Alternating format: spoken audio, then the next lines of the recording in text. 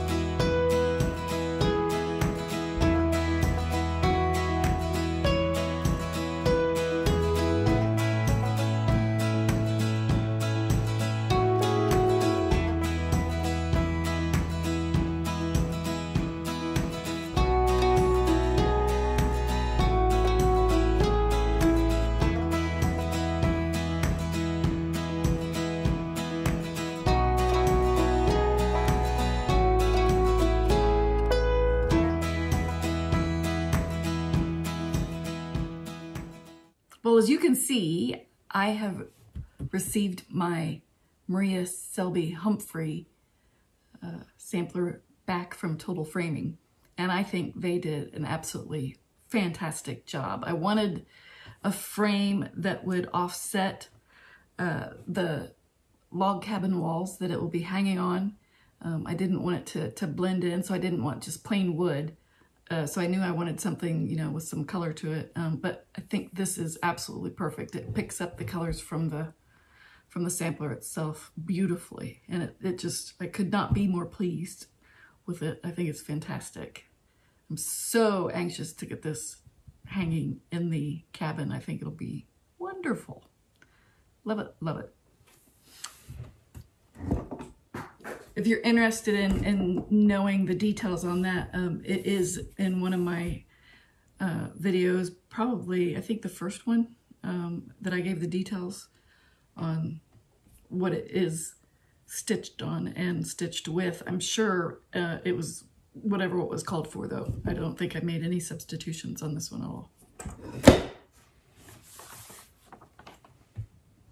And also in the same box, I received uh, my sampler that my friend Jenny made for me. Let's see if I can get this to just stand here for a second. There we go.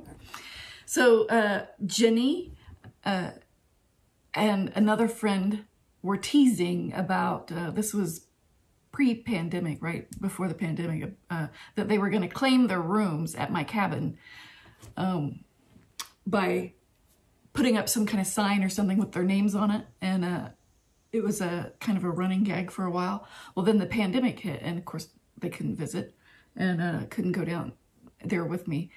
And in the meantime, Jenny, who is the most social person, most outgoing, always go, go, go, go, go um, kind of person, uh, her being stuck at home, I can't, I couldn't even imagine. It was like caging, you know, a wild animal or something, I would think. And come to find out, she had been sitting there stitching this for me um, the whole time, along with doing other things, I'm sure.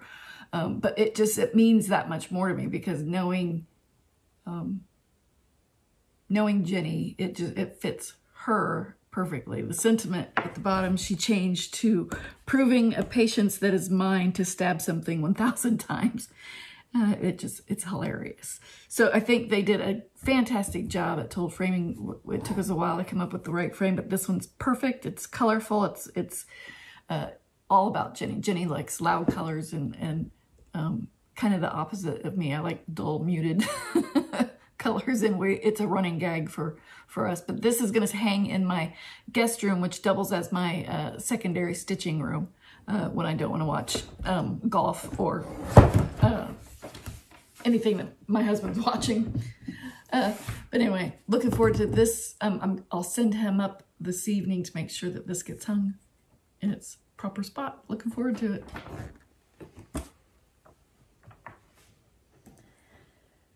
Uh, so, uh, so if you watched my last video, you know I went in for back surgery. Um, I don't know how long ago. It's been there at least two weeks or something like that. And finally, today's the first day that I can get up out of a chair without wanting to scream. So I thought it would be a good day to get uh, to get back into the swing of things. Um, I have been doing some stitching. I've been doing a lot more planning and getting you know projects lined up than I have been actual doing things. But um, I did do a little bit on my uh, my Quaker alphabet sampler, the Forget Me Not sampler, which is um, which I'm using to do the Simple Harmony stitch along.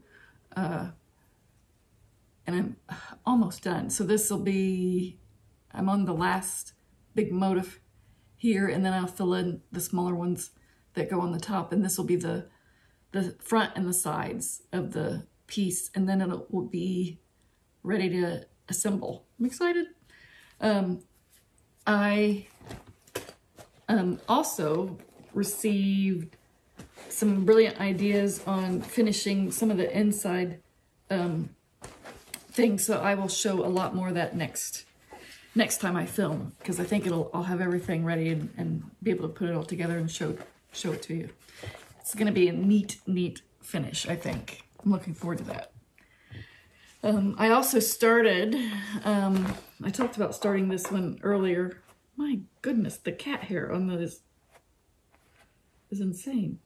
Bless her. My cats, I don't know if yours are, but my cats are shedding like crazy. Like they, nuts. But anyway, I'm working on Heartstring Samplery, My Wish. It's a beautiful pattern. Very much, it's not um, for me, but it's very much the style of who I am making this for.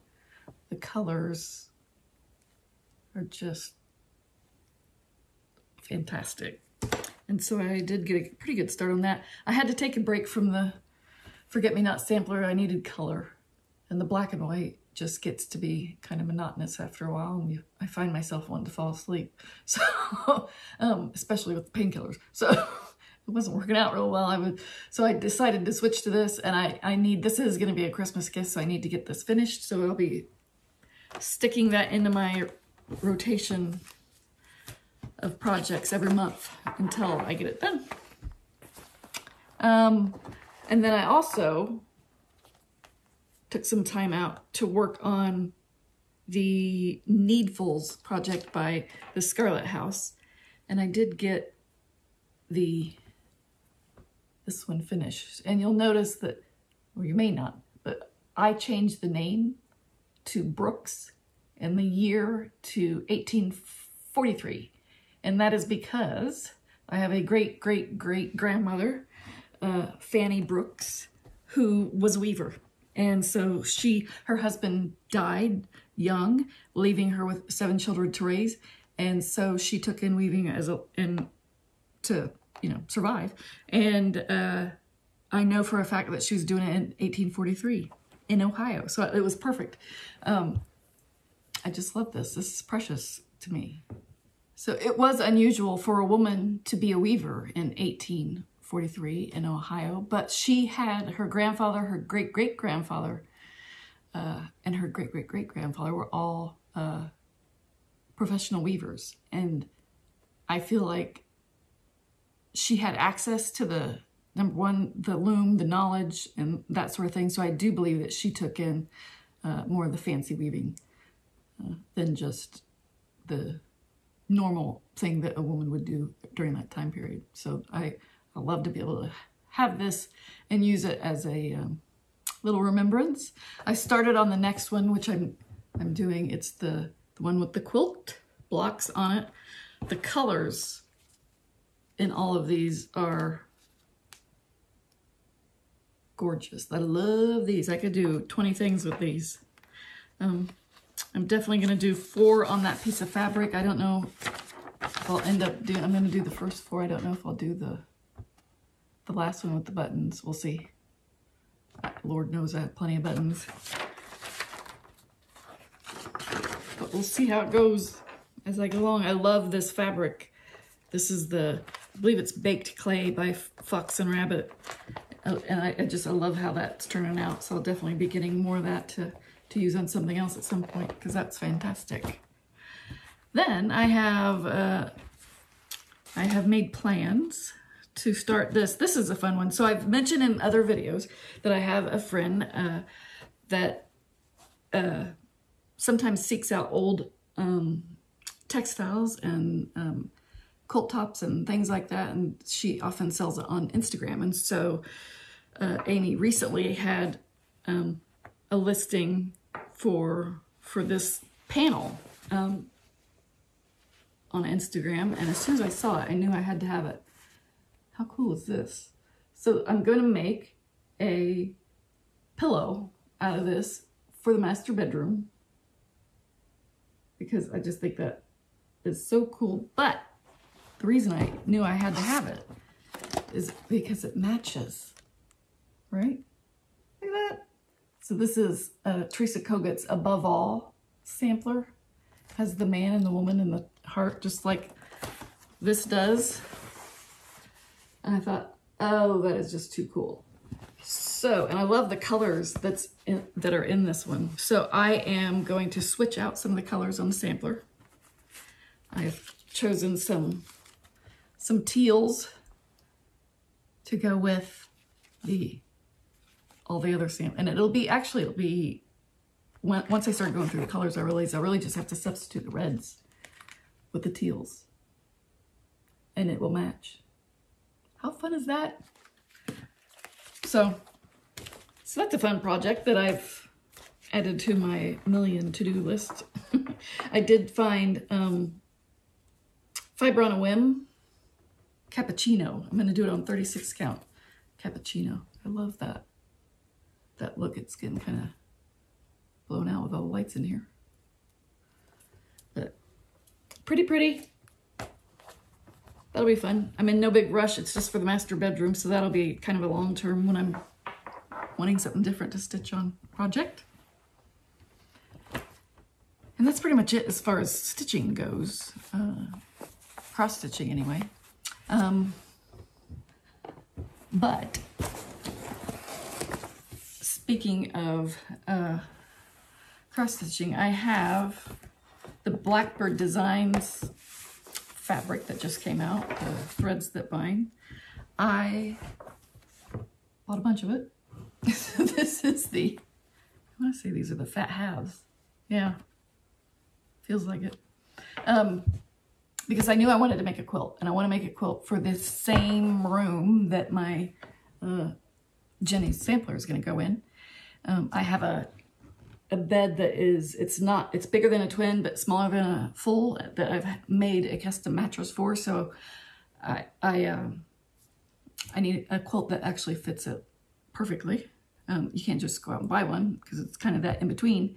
So I thought this would be perfect. And I looked through my hundred books of quilt uh, patterns before I finally found one that I really, really love. And it's an oldie but a goodie. So this is the Miss Rosie's Quilt Collection. I don't know if this is still available or not. This was put out at least 15 years ago, maybe more. I know I've had it forever. Um, and I'm going to do the Amadeus quilt. This is what it looked like for theirs. And I'm going to swap out, swatch that, swap out some of the colors so that the reds will be blues and, and that sort of thing because I noticed that the values of the colors were definitely different. So the, the blues and the purples stand out much more than the red. So I'm going to swap the colors around. But that's essentially what it's going to look like once I'm finished. I like those. I like those colors. I love the the pattern. Of course, I need it an odd size, so I have to redo all the math. but that's okay. I think I can do it. Uh, it's going to be fantastic. I am going to have to put another little border around it, a three-inch border, just to make sure that it actually covers everything that I want it to cover. Um, but that's going to be a fun project. I did go through, I, I don't always like how a quilt turns out if I use just one um, collection of, of fabric. They're too matchy-matchy for me. I like a scrappier look. And so I did go through my, um, my stash and I pulled out complementary fabrics that will break that up a little bit and give it more of a, um, of a scrappy vibe. I'm hoping.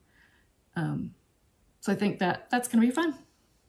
Looking forward to doing that. I haven't started stitching it yet. I haven't started cutting it out yet because cutting is still an activity that my lower back doesn't want to get into yet.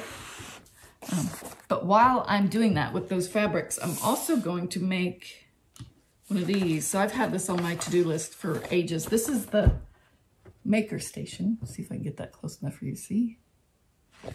Lily Ella Stitchery.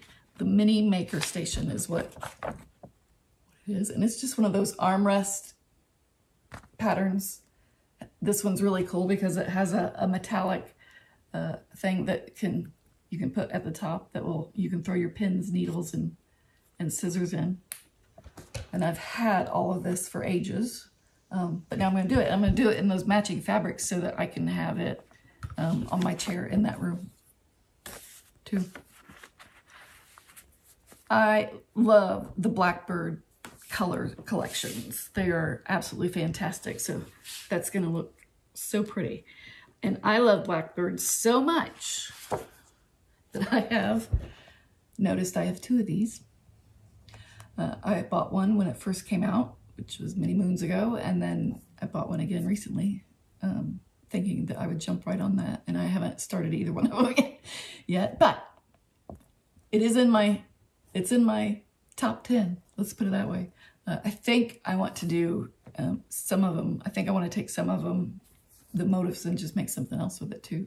But if you do not have a Little Birds sampler pattern yet and you think you would like to have one, uh, in the comments below, just say, leave me a comment that says something about birds and I will enter you into the drawing that I will pull next in, during my next floss tube.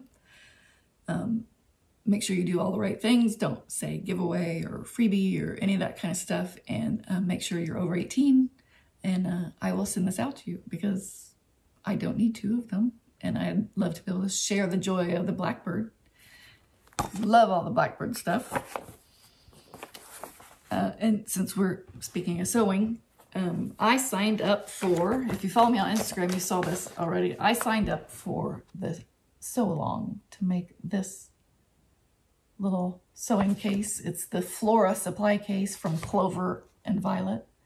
Uh, I've been wanting to do this for ages, about the same length of time I've been wanting to make the little maker station, but um, but I need this, I feel. Uh, I think it's a perfect little um, case for if you want to do English paper piecing or if you have a really a small um, cross-stitch project you want to take it would work for that as well. It actually has um, directions for small, medium, and large, so you can make it as big as or as small as you would like.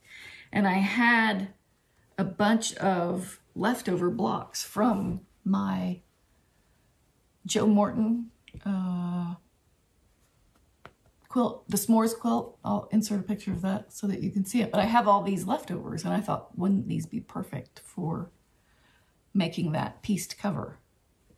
So that is my plan. Of course, they're not the right size, but that doesn't matter. I can figure that out. And I then will use, this is some of the old, old, old Blackbird fabric called, it was Wild Rose. I don't remember how long ago it's been since this came out, but it's been a, lot, a long time, I know. I'm gonna use this for the, to line all of the interior, the pockets and that sort of stuff.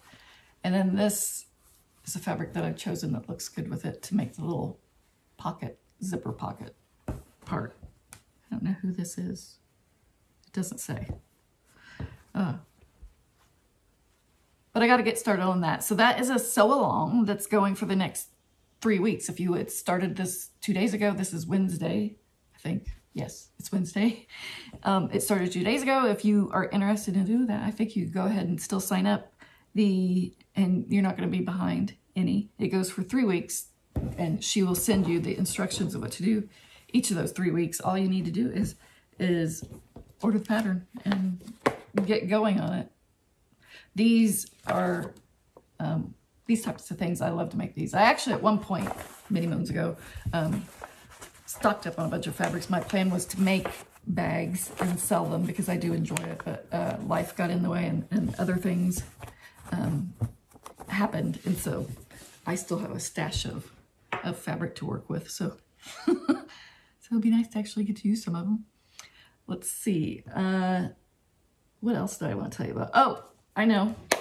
the so we're kind of moving into the acquisitions phase of the of the floss tube and I really wanted to highlight I bought a rug and it is a fantastic rug. Um, I bought it after watching a video which I will link below. You need to watch the video even if you are interested in buying rugs. It's just really really interesting. So this was a put out by Business Insider it was uh, um, right before the Russian invasion of Ukraine is when they filmed it. And then once the invasion happened, they updated the, the, the film a little bit. And it describes how this Ukrainian family is working to preserve this style of weaving you know, for the next generation and that sort of thing. So it's really interesting and just to see the process of what they do. Um, but anyway, they mentioned somewhere uh, that they had an Etsy shop. And I, when I watched this back in March or April, decided I was going to go and look at it. And I, I ordered a rug. And knowing that I may or may not get the rug because there's a war going on there and they may get, you know, uh, they may have to evacuate, go somewhere else to be, you know, and wouldn't be able to take all of their weaving paraphernalia with them. Um, it's not real easy to move one of these big looms. So um, I didn't know if I was, you know, what was going on, but I wanted to support them and their efforts of what they were doing there. And so um, I finally received the rug this week and I am beyond thrilled. I'll insert a picture here. It is made uh, with natural wools. The I love the different colors. It reminds me of my Shetland sheep. Uh, I don't know exactly the breed of sheep that it's from, but I think that I saw or read somewhere that it's it's Scandinavian sheep. So I'm thinking Gotland or a breed like that, probably. Um, it's beautiful. I love it. Right now it's sitting, I keep looking over here because I have it sitting over here. I did, I, my pets were a little too interested in it and I didn't want them messing it, messing with it. So I brought it out to the studio and I, I think that's where it's going to stay for a while. Um, then, what else do I have? Oh, my collectible of the week. I decided instead of just showing you one little collectible, I'm going to talk about storage uh, in general, using antiques to actually store things with. And so I have gone out, I've made my way out of the house a couple of times and I've done a little bit of thrifting, a little bit of antiquing, went to a, an auction. Um, so I have a few things to show. Uh, first off is the, um, I found some candlesticks at an antique mall. They were clearly listed as candlesticks. And I said, hmm. And so if you take them upside down, you can actually put something in the middle. So this is, that, and it will hold tools as well. This is actually an idea that I read, I want to say probably in a Fons and Porter quilting magazine a million years ago. Um, but each, this is just the tomato that you can buy nowadays from Dritz. Um, any Joann's will have them. And then you can write the needle size onto each one of these little quadrants here, right? And then when you put your needle in there, you'll know what it is. Because you know how you sometimes you'll sew and you only need your leather needle for one project. Well, you don't want to throw it away. Um, but you can put them in here and you'll know what they are. All right. And so this one's going to sit right next to my sewing machine. So I will have those handy. And I have this one, which I'm thinking would be perfect. I'll get another tomato and I'll have my hand sewing needles in this one. Um, because, and I'll know whether, what size it is, 24, 26, 28 on the tapestry, or whether it's, you know, a quilting needle or a sharp or, or whatever. But, so I thought that was a fun find. And it wasn't, these weren't expensive. It worked out perfectly. Love them. Um, and then speaking of needles, I have found, this is a little um, Clark's sewing little tip box. Has a little girl on the front. Very cute. Antique little, she's having a little tea party with her dollies, which is very cute. The inside was a Clark's spool cotton box. And I noticed that it would fit needles perfectly. So this is my, my little unused needle box. I have a large box. I have actually I have two large boxes. The, uh, the large box at the bottom holds patterns, sewing patterns, and then the next box holds a lot of needles and other stuff. Um, but then I plan on, this box will sit on top of, it's creating a stack. And this one now will have just the needles and I'll have other stuff in the middle box. Love that. I was happy to find that. Uh, something else I found that I thought was interesting. This tin, got this in, in, in another thrift antique store, and it looks like Berlin work to me. It looks like that um, Victorian, right, stitching that was all the rage there for a while. But this is, it's tin. It's actually, it's not, right? Actually, the top sounds like cardboard or something. Um, but it's actually, I just thought it was so fun. So I'm using this to store vintage spools of threaded. And you're thinking, Christine, why are you keeping vintage spools of thread? Well, I actually use them for basting. Um, so if it's something that it's going to get torn out again, right, um, I will use this. Sometimes vintage thread, you know, is still pretty strong. Some This one's strong. I can't break it. Um, sometimes it isn't. And so you don't want to really use some of this vintage thread in your sewing projects. I certainly don't want to put it in a in a quilt or in a um, bag that I'm making or anything like that. But I will use it for something that I'm going to rip that back out. Um, it definitely comes comes in handy for that. So that's what I use it for. Uh, and what else? We have one more thing up here on the table. So this, I wanted to show you, this is a crate. You could find all kinds of crates out there. Um, this one happened to be for a knitting machine from a zillion years ago. It's the Gearhart Standard uh, Knitting Machine Company. It actually has a picture of the knitting machine on side. But I found out, I figured out one day that it actually fits my um, project bags perfectly. I can put them in here, stand them up, and they fit just, just great. So I have that kind of stuck away in the house uh, so that they're all kind of neat. I like finding things like that. Um, I don't, I try not to do plastic at all, um, if at all possible. If there's any way I can use a basket or a box or something wooden or something reusable, um, I will do that. I'm just not a huge, huge fan of plastic and I never have been. It's just not, it doesn't appeal to me. Um, it's not my vibe. Now, there are things that I do use for plastic. I'm sitting here looking at a bunch of quilting rulers. I wouldn't, wouldn't want those to be uh, wooden or something. You wouldn't be able to see through them. But anyway, um, but as far as decorating and storage and pieces and things like that, I do try not to just go um, go with the latest plastic device or whatever that's that happens to be popular. Um, and then I know that there's some of you that are chomping at the bit and wanting to see something else that I've gotten recently, but you're just going to have to hold on. We're going to go for a walk. Okay, well, this, uh, I went to an auction recently, uh, four miles down the road from where my house is. Uh, on 4th of July, actually, they had a lot of primitives and things that they were auctioning off that day. And I managed to snag this Richardson's embroidery silks box. It's a, or case, I guess I should call it. It's, it's made, looks like it's made of oak. It has, it's pretty neat.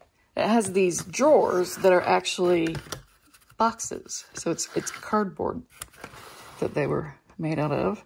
And some of them are starting to, to come loose. Some of them have, someone's already taken all of those dividers out.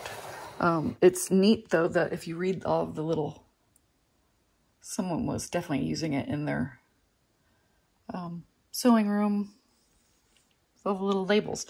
So what um, I don't really want to store anything in this. I know that this, there's no way that this is acid free. Um, so I don't want to put any of my fabrics or my um, flosses or anything directly on that. Um, I just don't believe that that is a good idea, especially for something that you're going to sit there and leave for a very long time.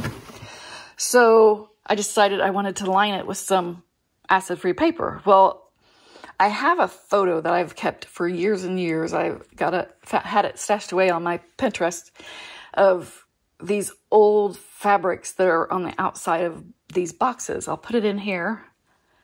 And I just love that look. I love, love, love that look. So I was trying to find some papers that looked a little bit like that. I haven't come up with the exact look, but I think I'm close enough. So I, these are some Italian papers that are lovely. So each box will have its own different design, or, or each tray, I should say. Pull out tray will have its own. So that'll be fun. I have a few more things I need to get for that project. Um, some binding, book binding, and uh, then we'll go with that. The I wanted to point out if you're interested in ever doing something like this and you're wanting to do some of these covering some boxes or any of the projects that I get into, this is actually a really interesting book. It's Constructing and Covering Boxes by Tom and Cindy Hollander. Uh, Hollander has a website with all kinds of things, papers and stuff that you can purchase and book binding and all that sort of stuff. So if you're ever interested in that thing, I could recommend that book. That's That's been a really good one for me. And now I'll turn around and talk about the elephant in the room. so during that same auction, this spool cabinet was part of the offerings and was the main reason I ended up going to the auction. Look at the back. Isn't that gorgeous?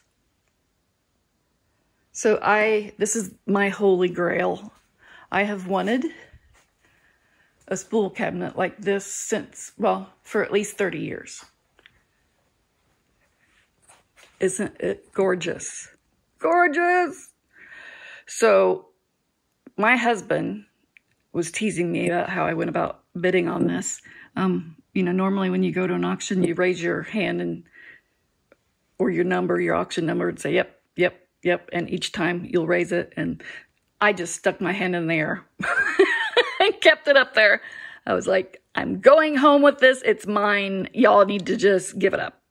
Um, and finally they did. So, and it was mine. I right now am using it to uh, store some of my um, samplers that I'm working on to reproduce.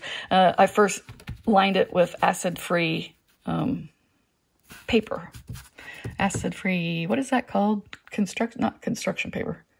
Anyway, um, because you, again, this is made out of wood and you don't want to put anything um, against that wood that could uh, harm your fabrics and things, but that's what I'm using this for. It, it gives me a place to stash the sampler and the things that I've chosen for it until I get ready to actually um, chart it which will be soon, hopefully. Hopefully that's on the list. I'm trying to remember what else I'm keeping. This one actually still had all of the dividers.